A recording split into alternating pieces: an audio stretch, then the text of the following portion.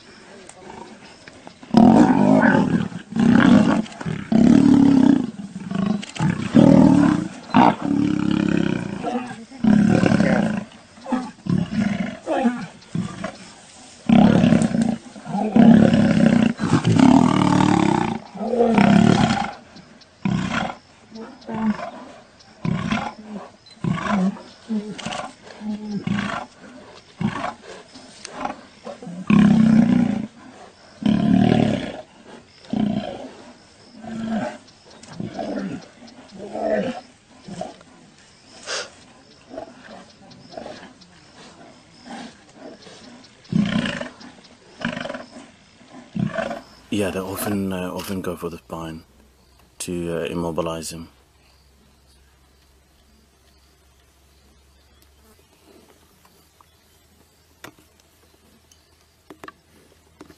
Reckon they know that it's done?